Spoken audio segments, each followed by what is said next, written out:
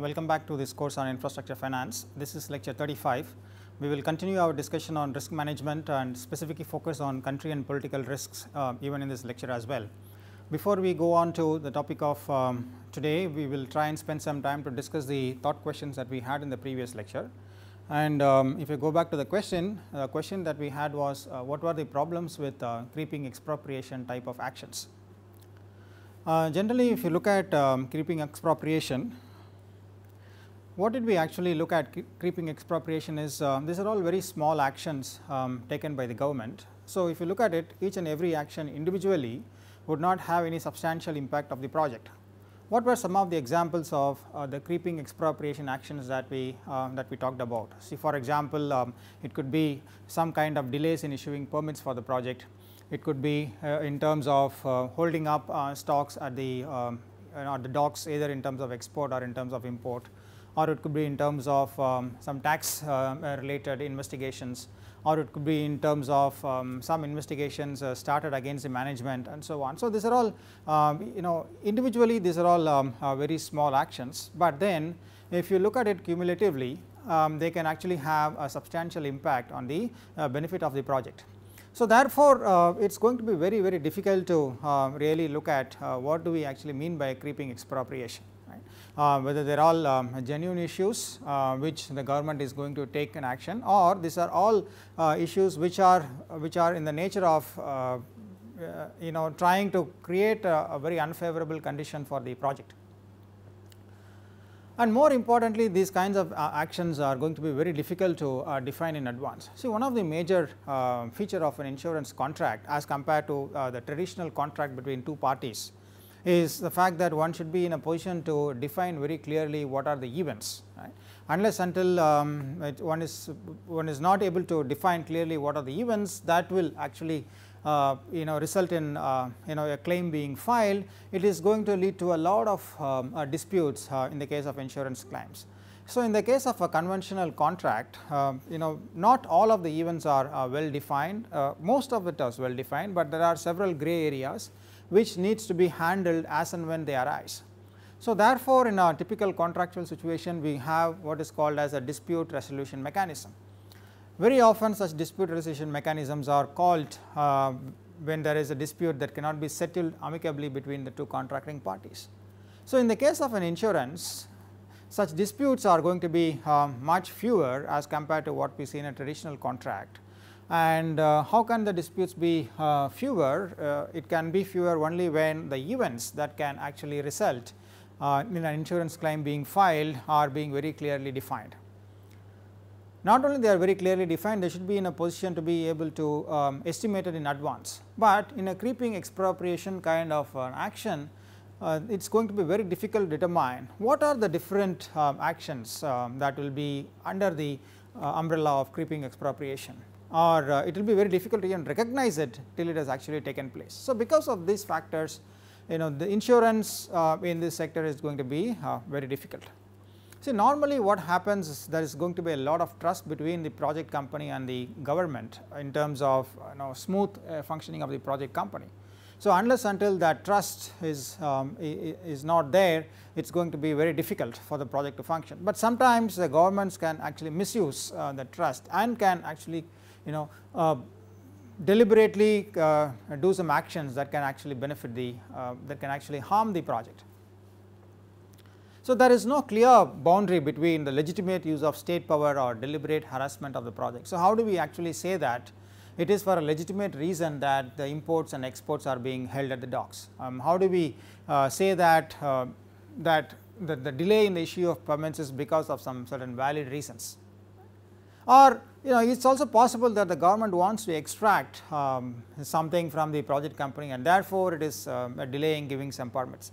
So, the boundary becomes um, very clear and we are not able to say for sure whether the state is, following its you know uh, the rules as per um, you know the legitimacy that it has been entrusted upon or it is trying to result in actions that can deliberately you know harm the project uh, company. And uh, it is also going to be very difficult to prove that the project would not have defaulted on its payments uh, if these creeping expropriation actions acts had not taken place. So, uh, when we actually claim uh, an insurance, what do we actually indicate, right? That the project has been has not been able to honor its payments because these actions have taken place. So, that is a if there is uh, if there is let us say an earthquake or if there is a sabotage, then it is going to be very clear to uh, identify that the project have not been able to function because of these actions. But it is going to be very difficult to prove that in the case of a creeping expropriations. How are we to prove that that it is because of these actions that the project has not been able to um, honor its commitments. Because it is going to be so difficult to establish a causal relationship uh, between the occurrence of the event and the non-payment uh, on the non-payment to debtors or investors, it is also going to be very difficult uh, to actually file creeping expropriation. So, these are some of the challenges and uh, if you are actually going to take uh, a loan for uh, insurance for creeping expropriation, then we need to be aware of um, these kinds of difficulties and therefore, uh, some of the events have to be lot more clearly defined to ensure that the disputes after the event has occurred is very minimal. Okay, now let us continue our discussion on uh, political risk. Um, in the previous lectures, we have talked about um, the various uh, types of political risk and the impacts that it can actually have. Now, we will move to uh, the next part of it that is uh, after having identified what is political risk, after having identified the different forms of political risk, let us see how we can actually go about and mitigating them. So, we even looked at uh, specific instances of mitigating political risk. Uh, for example, if you look at uh, one of our earlier lectures, we talked about um, investment risk. Under investment risk, we talked about currency convertibility and repatriation and um, under that we said uh, some there are some specific strategies that project companies follow to mitigate this investment risk. Um, so, one of it is enclave projects uh, that is you actually uh, create a project where the cash flows actually come in an account that is set up overseas and we also looked at setting up of overseas reserve accounts. It could be overseas expenditure account, it could be overseas debt service reserve account and so on. So, these are some of the ways uh, that we briefly looked at in terms of mitigating the political risk. So, in this lecture we talked about other um, mechanisms by which we can mitigate uh, political risk. The first is what is called as a government support agreement. Okay. In fact, uh, this is one of the important contracts um, that the project company executes and uh, this is an agreement uh, which uh, with the government and the project company is stating that uh, the government will create a favorable uh, environment for the project company. Okay. So, there are various ways in which you know government can actually you know facilitate uh, the functioning of the project company and the government support agreement is essentially um, for that purpose. In fact, a government support agreement can actually take various forms as we will um, uh, see later, but uh, the essence of it is very clear. The essence of it is um, there is some kind of an agreement with the government uh, by the project company to ensure that it is able to function in a, a fairly smooth way. But there is a view that uh, you know the government support agreements are uh, essential uh, only when there is no legal framework for the project. So, there is a general law of the country that sets up the framework for the project there is no need for uh, government support um, agreement. So, this essentially means that uh, when do we need a government support agreement? We need a government support agreement when the private sector finance is being used for the first time and there are some particular local risk that needs to be considered. And uh, when we actually have a support from the um, host government, it reduces the risk and encourages development that would otherwise not take place. Okay, so, this is um, this is a broad principle. So, we can see several uh, instances of uh, you know, how do we actually uh, uh, uh, several instances of government support agreement being used. Let us say for example, the Indian power sector when the Indian power sector was thrown open for um, private sector investment at the time there was no regulatory authority, at the time there was you know no history of uh, uh, foreign investment coming in the Indian power sector and so on. So, the framework today that we have in terms of regulatory authority, in terms of facilitating foreign investment and so on evolved over time, but uh, for the government did not wait uh, for the framework to be developed uh, before getting investment. You know both of the things in some sense happen parallelly and when there is no history, when there is no uh, law or regulatory framework, obviously the support from the government becomes very critical for the investors.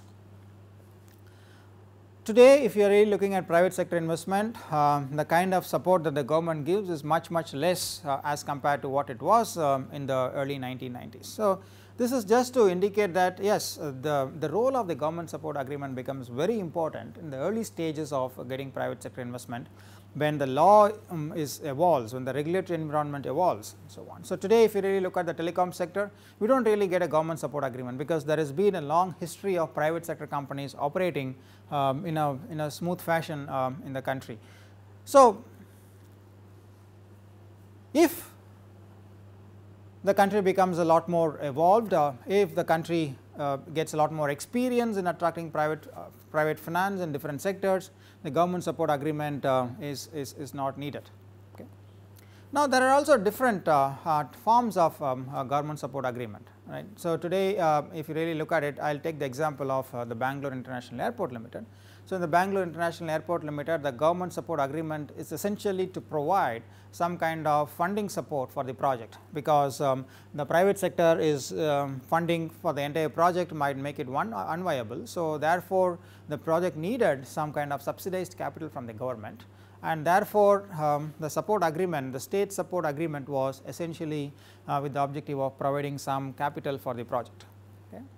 Now, that there was an agreement um, uh, between the project company and the state government for providing that kind of uh, support right. So, the support could be not just in terms of creating a favorable environment, it, it could also be in terms of uh, providing capital. But then the question uh, really comes is uh, you know the, the, government support agreement is all is fine, but is the government in a position to honor the obligations um, of the support agreement when the time comes so, all this agreement and all of these things is uh, actually undertaken before let us say the financial close, but should there be any difficulty uh, in the future, will the government be in a position to honor the terms of the contract. So, the project company then follows various strategies uh, by which the government support agreement uh, clauses are being enforced. Let us say for example, in the case of Bangalore International Airport, the issue was the state has actually given an agreement uh, for providing funding support and this funding support occurs over a period of time and it is in line with the amount of investment that is actually been uh, brought brought in by the private uh, by the by the private investors. But always the doubt is what happens if the state government is not able to provide its funding support on time. Okay. What happens if the um, uh, state government um, uh, changes or what happens uh, if the state does not have the resources to provide the support that it has indicated.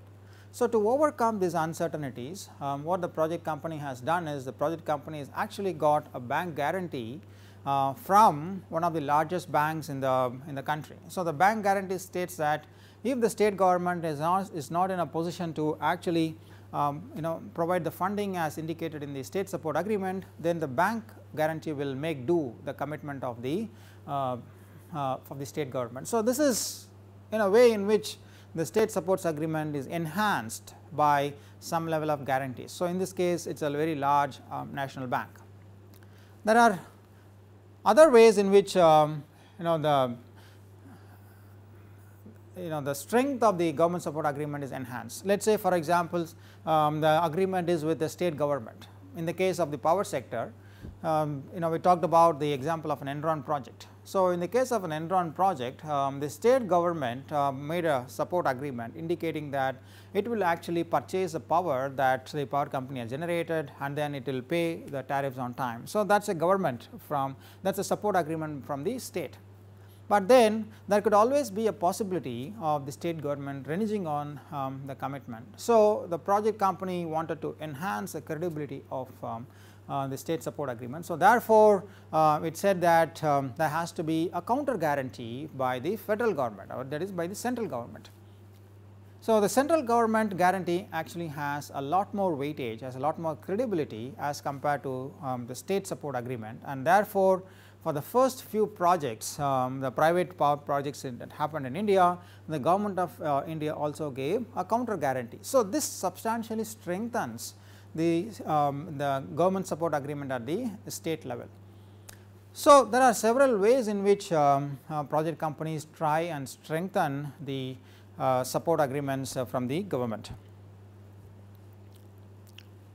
What are the typical provisions in a government support agreement? Um, the guarantee could be on key contracts that is um, let us say if there is a, a guarantee, uh, uh, if there is an agreement between let us say a state electricity board and the power generation company, the guarantee could be that um, the state electricity board will fulfill its obligations as an off taker. This is a guarantee provided in terms of um, you know ensuring the obligations of the off taker.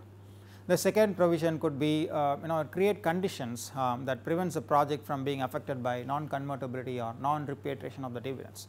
Obviously, there are overseas investors they need to get returns. So, um, the government support agreement will provide for some provisions um, that will prevent um, you know either non-convertibility or reduce the chances of this non-convertibility or non-repatriation of the dividends or it could be also to create um, favorable institutional conditions such as issuing permits on time, uh, such as ensuring that the exports and imports are cleared on time, ensuring that all the paperwork is um, you know with the support of the government, the government provides um, the necessary uh, support structure. For example, if you need to create roads, if you need to create um, utility connections at the project site, all of this is beyond the control of the project company, but um, the government will ensure that um, these are all uh, provided on time. So, these are all creating uh, supportive institutional conditions. Uh, you know it could also be in terms of uh, provision of tax concessions. Okay. Um, in, the, in the initial stages of the project uh, creating a favorable tax structure so that uh, private investment comes in. Okay. So, uh, that again could be a feature of the government uh, support agreement. So, the tax concessions might not be uniform, it might not be for the industry as a whole, but it could be for a specific project um, for a specific duration. And uh, sometimes the government support agreement also kind of um, has clauses which says that um, you know what should be the dispute resolution mechanism. So, given the fact that whenever there is a dispute and uh, if the disputes are going to be uh, you know um, are going to be uh, you know discussed uh, within the country then um, you know if the host government is one of the parties uh, to the dispute then it is going to be the private investors will feel that uh, it's going to it's, it's, it's, not going to get a very fair um, uh, resolution. So, therefore, most of the government support agreement also provides for a dispute resolution mechanism that is outside of the country right. So, either a jurisdiction is outside or either the arbitration uh, tribunal is also outside the host country. So, these are some of the typical provisions that you actually have in a government support agreement and government support agreement is one of the ways in which uh, uh, you know projects try and mitigate the uh, political risk. So, the other ways in which uh, project companies try and uh, mitigate the political risk is uh, in the in the form of insurance and, and the finance market. So, there are four ways in which project companies use the insurance and the finance market. Um, first is to actually have guarantees or insurance to political risk. So, uh, like we actually cover for uh, fire, like we actually cover for um, uh, damages uh, during construction and so on, you can actually also take an insurance cover for mitigating your political risk. And um, you know this risk um, can cover all the risk uh, both political and commercial. So, if it covers all the risk both political and commercial it is called as a full cover, but if it covers only the political risk it is called as only the political risk cover. See, what is the objective um, of uh, having this political risk cover? The objective of having this political risk cover is to ensure that the risk environment becomes manageable, the levels of risk is acceptable for private investors and therefore, they are comfortable and they are willing to actually come out with the uh, you know making investment. Okay. So, the insurance uh, reduces the risk factors uh, that is prevalent uh, in, in the case of uh, in the case of you know providing this, this kinds of insurance. So, another way to uh, get investment apart from providing insurance is you know in, you just provide the funding itself right and therefore, um, loans to the project company from lenders uh, that are prepared to accept the level of political risk. So, the traditional uh, conventional private investors will not be comfortable with uh, certain level of political risk and therefore, they are demanding political uh, risk insurance. But then there could be some other investors who may be comfortable in investing with this level of political risk and therefore, uh, they can uh, directly provide funding, they can directly provide loans instead of actually asking for political risk insurance. Okay. So, uh, getting finance from those sources who are acceptable uh, to the levels of political risk is another way of mitigating political risk. And uh, political risk is not mitigating political risk is not only important for the lenders of the project, it is also important for the investors in the project that is the equity investors in the project. Okay. So, uh, we are really looking at uh, you know uh, trying to mitigate it uh, for all types of investors and we are looking at different different ways in which this can be mitigated. Now, let us try and discuss them uh, one by one. The main sources uh, for political risk cover and as well as for loans in difficult environments is basically uh, fourfold. One is you actually have the export credit agencies. The second is uh, you have financing and guarantee provided by uh, bilateral institutions and uh, the third would be loans and guarantees from multilateral agencies and then the fourth is uh, you have your private insurance market. So, let us look at the export credit agencies to start with. So, what are export credit agencies? Now, these are also uh, these are also uh, denoted in the short form as ECA. Now, there is um, uh, each and every uh, country today um, have their own export credit agency. So, these export credit agencies are public sector institutions established in their respective countries to provide support for export. So, today in India we have an export credit agency it is called as the Exim Bank. Okay. So, when um, Indian producers want to actually export uh, their product then uh, they actually use the services of the Exim Bank because Exim Banks provide uh, financial and other forms of assistance to help the exporters to export their products. Okay. So, uh, these kinds of financial institutions are specifically uh, provided um, you know set up to provide uh, support for um, exports. So, these export credit agencies can actually provide political risk cover uh, when equipment for the project is important.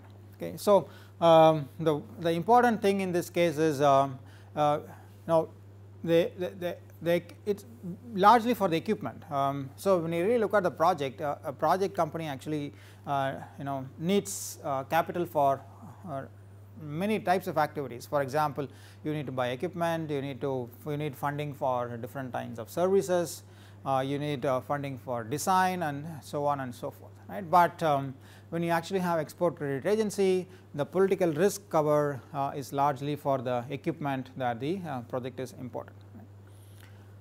Uh, the ECAs can provide um, uh, direct funding support or they can actually provide interest rate subsidies. So, the how it works is so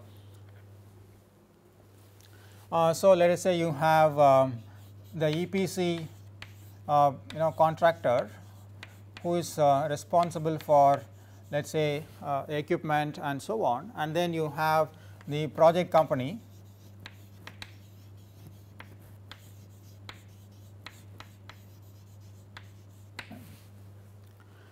So, um,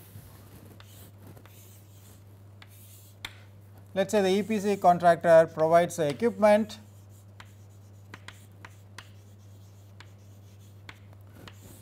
and then you have the project company um, which will actually repay the equipment right in terms of um, your interest and your principal repayments. But now, uh, if the contracting company or if the equipment supplier um, finds the project company uh, to be uh, too risky or the project company is exposed to political risk, then they may actually rely on uh, some kind of uh, you know political risk mitigation mechanism. Okay. So, um, uh, so what actually happens is uh, instead of a direct transaction between the project company and the EPC contractor, you actually have what is called as your export credit agency. Right. You actually have an export credit agency and the export credit agency provides uh, a loan to the uh, project company and the project company in turn actually repays to the ECA by interest and um, uh, principal repayment and the ECA in turn uh, you know uh, pays back the uh, EPC contractor right. So, this is a kind of an agreement that you have in export credit agency.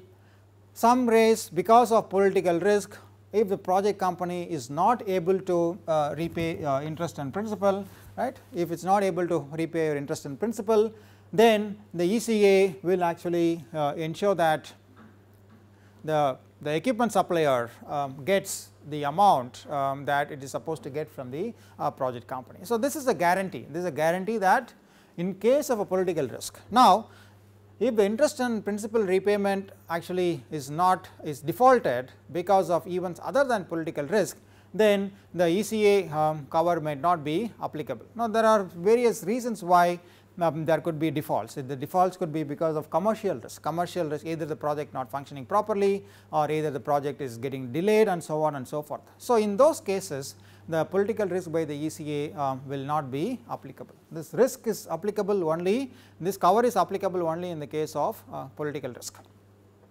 So, what you can actually have is that there could be different types of support. So, ECA can actually do, provide funding to the project company to finance its equipment or it can actually provide uh, interest rate subsidies to a commercial bank. Let us say for example, instead of um, instead of export credit agency there is a commercial bank which is financing this transaction, but for a commercial bank to finance this transaction the risk is not an acceptable level or it needs a higher return for the risk it assumes. Okay.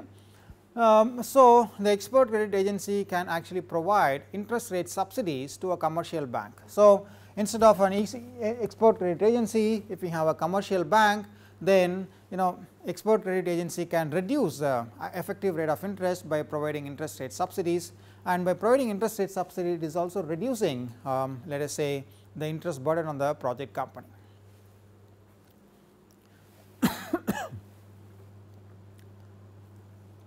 So, broadly if you look at it the support by export credit agency can be in two forms one is to provide financial support and the other is to by way of um, uh, credit support.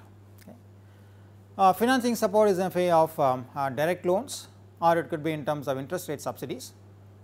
Uh, credit support uh, is also provided by two ways in terms of direct loans or credit insurance for loans made by uh, private sector banks. So, uh, credit insurance in the sense that if there is a commercial bank which is actually providing a loan for the project company and um, ECA can actually provide a credit insurance stating that if the commercial bank is not getting payments on time because of default by the project company due to political risk, then the export credit agency will ensure that the payments due to the commercial bank are paid. So, that is a broad scheme by which uh, the export credit agencies work.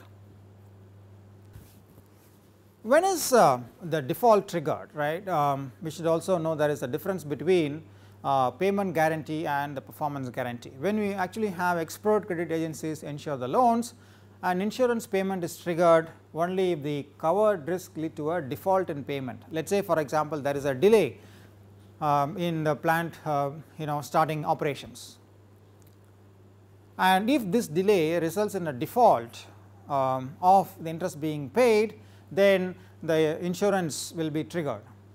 On the other hand, let us say for example, the plant has begun operations and um, for a particular reason and for a particular period the plant is not functioning at let us say uh, 80 percent uh, the plant is, plant is functioning only at 80 percent of the capacity.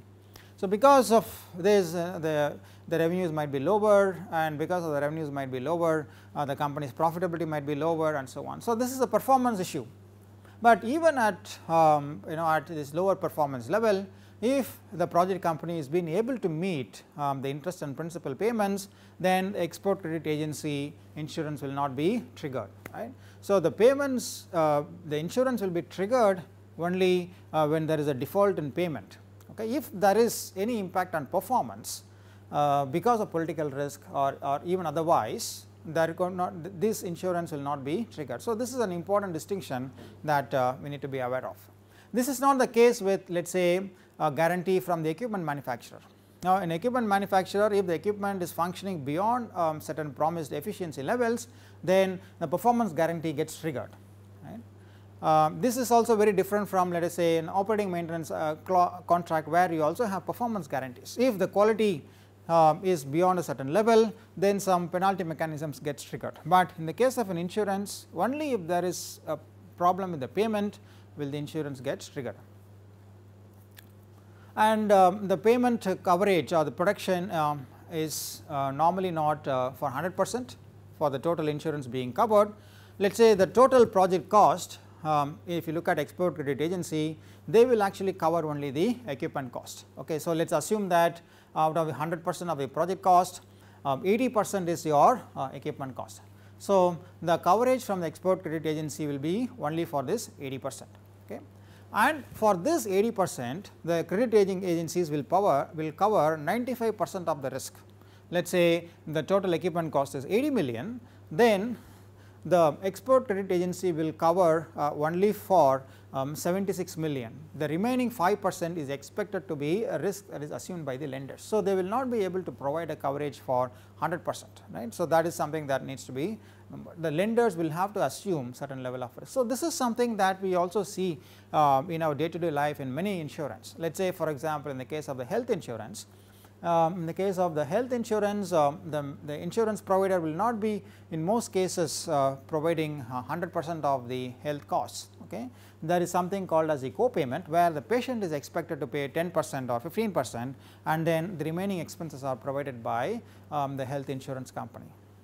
Uh, this also uh, can be seen in, in other forms of insurance let us say in a vehicle insurance. Let us say you have got a car and you have got a car insurance uh, protection and whenever you are actually um, you know uh, filing um, an insurance claim there are some deductibles right. So, out of the total approved claim the insurance company will going to reimburse only certain amount after a compulsory deduction. So, these are all uh, uh, you know mechanisms that will ensure that the lenders also assume a certain level of um, risk okay it is 100 percent of the risk is not going to be covered by these kinds of insurance schemes and um, uh, ECAs also expect the commercial risk uh, you know to be borne by the you know, uh, commercial banks right. So, for example, uh, uh, if there is a delay in completion um, then that is actually a commercial risk. Okay. So, the commercial banks are expected to uh, you know absorb those risks and not the export credit rating agencies. Okay. And particularly ECAs guarantee uh, only political risk during the construction period because uh, the commercial risk is largely uh, you know managed by is largely governed by the EPC contracts and various other contracts. So, the project company or the EPC contractors are in a better position to manage this commercial risk rather than the um, export credit rating agencies. What are the general coverage of risk uh, by the export credit rating agencies? So, they look at uh, the standard investment risk we discussed them there is currency convertibility, uh, you know there is um, repatriation, uh, expropriation, political violence. So, these kinds of risks are actually covered by the export rating agencies. Some of the agencies do not provide coverage for uh, creeping expropriation. Remember uh, creeping expropriation is difficult to define though it is part of a political risk process um, sometimes it is going to be difficult to say what comes under creeping expropriation. So, not all of the ECAs provide cover for creeping expropriation. Then we also talk about breach of contract. Uh, breach of contract is when the government does not honor its side of the agreement. For example, there is a government support agreement and the government does not agree um, does not make payments or any, any such um, uh, you know uh, events that may unfold. So, this is actually a breach of contract. So, the export crediting agencies sometimes uh, do not provide for such a breach of contract. What is the overall view of the ECA cover? Um, we need to really look at some of the limitations and benefits of uh, the ECA cover. Uh, the limitation as we have seen earlier is they do not fully cover the amount of risk they are insuring. And uh, second is uh, they generally cover only for equipment. See for example, if you look at a large construction project, a construction project cost uh, is not only equipment, no, there is a lot of construction, there is a lot of design, there is a lot of development that needs to be done which is also accounting for a substantial percentage of the uh, project cost, but the ECA cover will be largely available only for equipment and sometimes uh, the premiums charged for political cover uh, can be very high. Okay. So, uh, you know it makes it attractive for commercial lenders um, only you know if they are not willing to provide finance otherwise. Okay.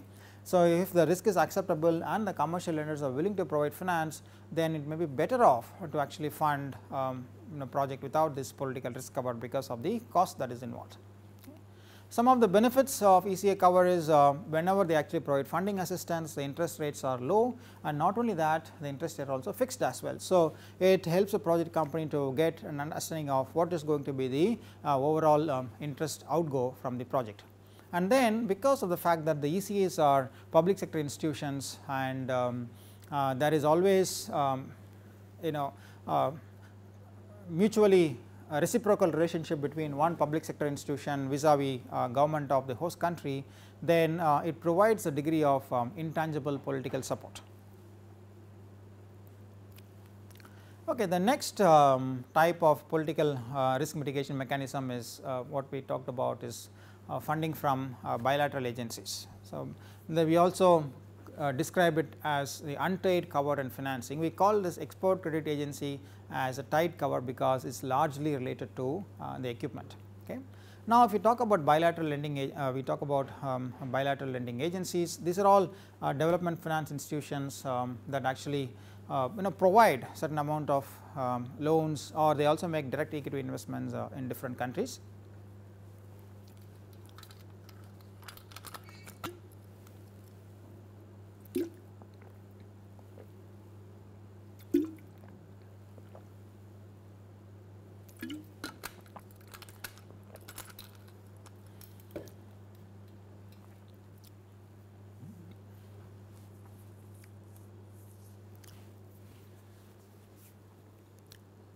So, because of the fact that these are development finance institutions, they are able to assume certain level of political risk which might not be able to be assumed by uh, private investors. So, they do not actually provide an insurance, but by investing um, in countries which having a high degree of political risk, they actually you know reduce the risk levels for the other investors in the project but um, each and every organization has its limitations in terms of uh, the maximum amounts of investments. So, though the project might be very large, some of them might not be able to contribute beyond a certain level, right. It also depends on the percentage of investment. So, there are limitations in terms of you know how much percentage of investment they will make, how much of absolute quantum of investment they will make and also in terms of uh, the time of coverage, how long will they be able to uh, provide um, you know funding or coverage to the project either it be 15 years or it is going to be 10 years and so on. Okay.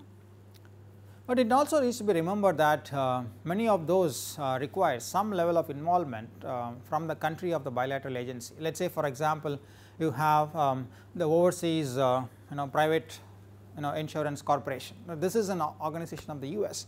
So, whenever we are talking about support getting from OPIC, uh, it is assumed that a part of the equity is also uh, from the US investors. Now, similarly, if you are talking about the Japanese Bank for International Cooperation in Japan, um, you know there has to be some level of um, uh, Japanese involvement in the project. So, this though this is basically is untied cover in the sense that it is not tied to equipment, uh, there are certain limitations uh, in, in, in kind of accessing this source of capital to mitigate the uh, political risk. Then we talk about the multilateral lending agencies. Uh, multilateral lending agencies uh, apart from direct lending they play a key role in mobilizing private sector funding for projects in developing countries. So, they play a catalytic role. If the multilateral agencies lend let us say 100 million, then they will be able to mobilize other private capital for 400 million. So, that is the kind of uh, you know leverage that they will be able to do. So, who are these multilateral lending agencies? So, there are several for example, you have organizations like the World Bank, then you have um, other World Bank agencies like the International Finance Corporation, you have um, International Development Association, then you have some of the regional development banks like the Asian Development Bank, African Development Bank, European Investment Bank, Inter-American Development Bank. So, these are all essentially multilateral lending agencies and uh, it is critical that uh, um, you know many of the multilateral agencies they actually have a relationship beyond uh, beyond a particular project right. So, most of the time these MLAs uh, multilateral agencies um, are involved with uh, you know the overall economy of the host country at many levels. Okay. So, they provide uh, support for several projects um, in the uh, in the host country. Okay.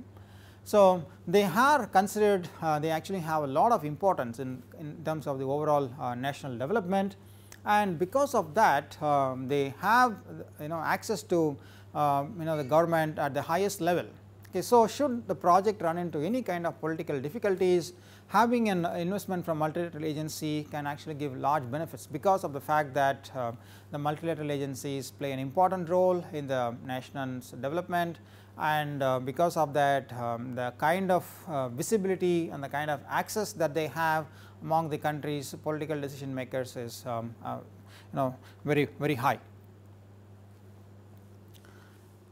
It has also been seen uh, in the past that um, MLAs get uh, preferred creditor status uh, when there are difficulties in repaying loans to external creditors then um, you know multilateral lending agencies get a preferred status that is they get paid first as compared to other uh, private lenders. So, therefore, uh, any private investors which also has multilateral agencies is going to be a lot more comfortable because should the country experience any difficulties they have a good chance of you know uh, getting their capital um, earlier as compared to other projects which do not have any multilateral uh, lending. But there are um, uh, some of the concerns with the multilateral lending agencies as well, uh, because most of them try and evaluate a project uh, you know whether it is appropriate or not in the wider economic context of the host country. So, it is not going to be um, with respect to any one project, but they like to see how this project is going to impact uh, the overall economic development. So, this broader evaluation sometimes could be resented by the host country because um, they might feel that um, these agencies are trying to play into the wider uh, economic and political uh, scenario of the host country. Okay. It may be seen as interference, it can be seen as some form of very soft intrusion into the um, decision making of the host country. Now, as far as the lenders are concerned, uh, the objectives of uh, multilateral agencies are very different as compared to some of the private uh, lenders. So, many of these multilateral agencies if the project is undergoing difficulties uh, they may be willing to restructure their debt because of the fact that the potential benefits of a project um, uh, can be much larger um, at a later date. So, they may be willing to extend their term of the loan, they may be willing to subsidize um, the interest rates and so on and so forth. But then some of this might not be acceptable for the private lenders. Private lenders might not have uh, uh, might not have anything uh, beyond uh, that particular project or an investment. So, therefore, um, they may not be comfortable with some of these strategies such as extending the term loans and so on. So, the next organization that we will have to discuss is um, an organization called MIGA. This is Multilateral Investment Guarantee Agency. So, this is a this is an agency set up by the World Bank uh, in 1988 uh, to encourage private sector investment in developing countries um, and the objective of this organization is essentially to provide um, political cover uh, to lenders and investors. In fact, if you look at um, um World Bank, um, different World Bank agencies, MIGA is the only agency which does not provide any funding assistance. The role of MIGA is only to provide um, guarantee against political risk. That means, it actually involves no funding at all except to provide a guarantee to the private uh, private investors. So, what does it cover? Um, it covers both equity and debt. So, therefore, uh, this guarantee is going to be applicable both for project investors as well as the uh, project lenders. It provides for up to 95 percent of the scheduled payments of loan interest and principal. So, like the export credit agencies 5 percent of the risk will have to be borne by the lenders and in terms of equity the total equity value at risk is provided for under the uh, guarantee. So, obviously, um, you know this guarantee is not a blanket guarantee or this does not provide for any blanket insurance. There are insurance limits that exist per project. Let us say for example, if the project is 500 million, we cannot actually take an insurance protection for the entire 500 million. You could probably get insurance protection for 100 million or it could be for 150 million. So, these uh, um, limits keep changing um, over time and uh, it is very important for the project company to be up to date in terms of what are the uh, current limits and it also uh, limited at the host country level. For example, uh, the maximum uh, guarantee that would be provided by MIGA at the host country level could be let us say 500 million. So, even though there may be more projects and uh, if the total insurance coverage guarantees provided to MIGA exceeds the host country level, then it may not be possible to actually get the guarantee from MIGA for a future project okay till the insurance um, till the pro, till the insurance till the projects are released from some of the uh, MIGA insurance covers.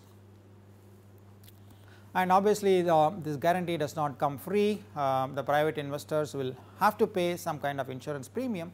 These are in the range of um, 5 to uh, 0.5 to 1.75 percent per annum on the amounts covered. Okay. What are the risks that are covered? Um, the common risks that are covered include currency convertibility and transfer, it also covers for expropriation uh, including some elements of creeping expropriation and uh, it also covers for civil disturbance, it covers for sabotage, terrorism and acts of war and uh, it also covers for the breach of contract by the host government. Okay. So, so whenever we talked about um, a breach of contract by the host government, we also remember talked about the dispute resolution mechanism. That means there is um, there is a litigation, there is an arbitration mechanism under which the breach of um, contractor will be you know arbit, arbit, arbitrated. Okay. So, the question that you may ask is uh, when you actually have an arbitration mechanism, why should we actually guarantee for uh, a breach of contract. Okay. Now, the arbitration mechanism um, does not uh, abide, it is not uh, you know the host country need not abide by um, the arbitration mechanism particularly if the arbitration uh, decision is unfavorable to the host country you know it is um, legally not bound that it has to honor the uh, terms of the arbitration. Okay. So, in case if there is a dispute resolution mechanism and if the mechanism has been in favor of the project company, then the host government uh, will have to make some payment um, for the project company. But if the payment is not received from the host government, then how do we actually cover for the risk? So, MIGA actually provides uh, for this kind of risk coverage when there has been uh, a favorable dispute resolution uh, in terms of the project company, but the government or the host country has not honored the arbitration award and it has not made the payment to the project company. In that case, the guarantee from the MIGA can be used to recover the cost. And the fourth way of uh, mitigating political risk is your uh, private sector insurance. Uh, private sector insurance uh, in political risk um, initially uh, did not have a big role because of the fact that most of uh, you know the acts are beyond the control of private sector the role of uh, private sector insurance has been uh, very limited. But today um, uh, there are several private sector insurance uh, which are offering political risk coverage because the insurance industry has actually uh, been able to develop various actuarial models so that they can um, most accurately evaluate and assess the political risk that each of the projects might face. And because of that they will be able to offer uh, various um, you know insurance protection for uh, the project companies. You know uh, at last count there were more than 20 companies which are offering some kind of political risk coverage. Some of the examples include AIG, Lloyds, Swiss Re uh, which actually provide some form of political risk uh, political risk insurance. Okay. As in the case of um, uh, that we see what we see export crediting agencies are MIGA uh, the investors would be required uh, to retain some of the insured risk. That is uh, the insurance will not provide for 100 um, percent of insurance coverage. Let us say for example, the project is 1000 crores and the private sector insurance will be willing to provide political risk insurance for about 150 crores. So, out of the risk coverage of 150 crores, the private investors might have to retain 5 percent or 10 percent and the remaining would be absorbed and the remaining would be uh, covered under the uh, private sector insurance. And there is a important difference between uh, you know getting political risk insurance from the private sector and the public sector like the export credit rating agencies or the multilateral banks. Now, whenever we have uh, political risk coverage from public sector insurance, uh, they generally require that the presence their presence in the transaction is publicly known. So, this World Bank would like to know that World Bank is providing some funding for the project and MIGA would like to know that the political risk of, um, of the project is being guaranteed by MIGA and so on. But when we actually have private insurance, they make it a condition that uh, the insurance, uh, the existence of the insurance is not revealed. It's simply because of the fact that um, they do not want uh, people to, they do not want investors uh, not properly performing their duties and um, they, uh, they do not want people to know that, um, that insurance exists so that any loss can be actually passed on to the uh, private insurance.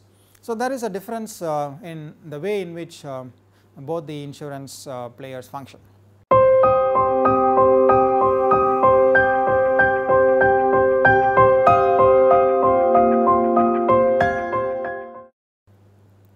Okay, now we have come to the end of this lecture and um, the questions for this lecture are two. Um, the first question is um, we talked about political risk insurance. Now, who should actually take political risk insurance? Should the political risk insurance be taken only by lenders or should the risk insurance also be taken by the equity investors? Um, second question is um, can you actually develop a general framework uh, for risk management based on the various contracting and insurance tools that we have seen so far. Remember we talked about a whole lot of uh, strategies by which we can manage uh, the project risk. Broadly this can be classified as uh, contracts and insurance. Now can we actually develop a framework uh, which will kind of give us uh, some indication as to when do we actually go for contracts and when do we actually go for insurance. So think about it and we will discuss it in the next lecture.